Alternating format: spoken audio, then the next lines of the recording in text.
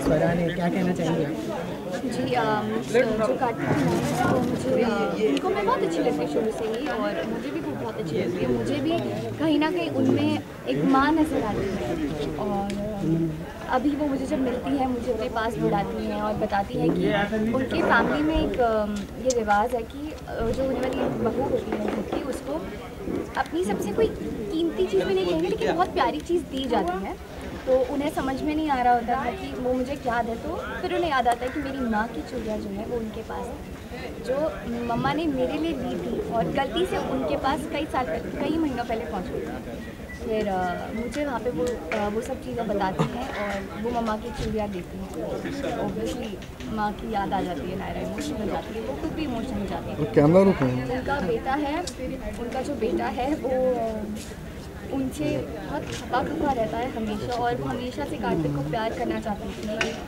माँ कार्तिक की बनना चाहती थी लेकिन वो बनी नहीं उन्हें कहीं ना कहीं मुझमें अपना बच्चा दिखता है। कार्तिक इसी दौरान आपका एंग्री मैन वाला लुक देखने मिला काफ़ी भड़क गए थे नायरा के ऊपर। बहुत टाइम बाद गुस्सा हुआ मैं है ना? मुझे बहुत मिस कर रहा था। हाँ बहुत दिस थिंग हैपेंस क्योंकि इससे पहले आ, आ, एक बहुत ही क्यूट सा मोमेंट गया जहाँ पे नायरा और कार्तिक डिसाइड करते हैं कि वो सोशल मीडिया का व्रत रखेंगे। मतलब जैसे एंगेजमेंट हो चुका है वैसे वो लोग ना मिलेंगे ना फ़ोन पे बात करेंगे ना मैसेज करेंगे। और यहाँ पर किसी तरह एक दूसरे को ढूंढ के देखने की कोशिश कर रहे हैं और जब वो उन्हें देखने जा रहे हैं वहाँ पर वो देख लेते हैं कि नायरा स्वर्णा जी। अच्छा ये भाभी माँ का गणपति से फ्रेंडशिप कराने का भी कुछ प्लान था क्या? था वो बताइए।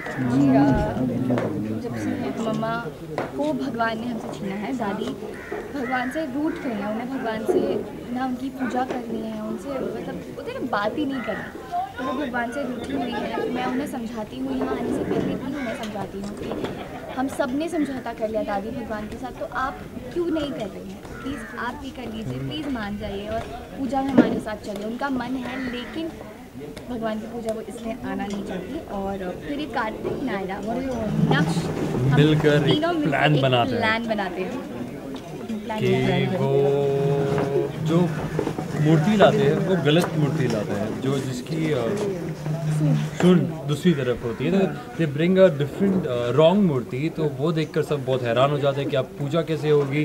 दादी कहती है नक्शे के आप आप नहीं जा सकते क्योंकि आप पूजा में शामिल हो चुके हैं तो फिर तो हमारे पास एक ही ऑप्शन बची थी वो थी दादी। और जैसे ही नक्श ये दादी को बात बताते हैं तो दादी नहीं चाहती थी कि उनकी पोती की लाइफ की नई लाइफ की शुरुआत होने जा रही है और उसमें मतलब शुरू में ही कोई प्रॉब्लम हो जाए तो इसलिए विघ्न। उन्हें विघ्न आ जाए तो इसलिए उन्हें आना ही पड़ा और like talking about the cake cutting and eight years आप लोग तो मतलब नए लोग हैं ये रिश्ता परिवार के क्या कहना चाहेंगे? इसके बारे में? आ, बहुत अच्छा लग रहा है। हम लोग को भी nine months eight and half nine months हो चुके हैं शो में।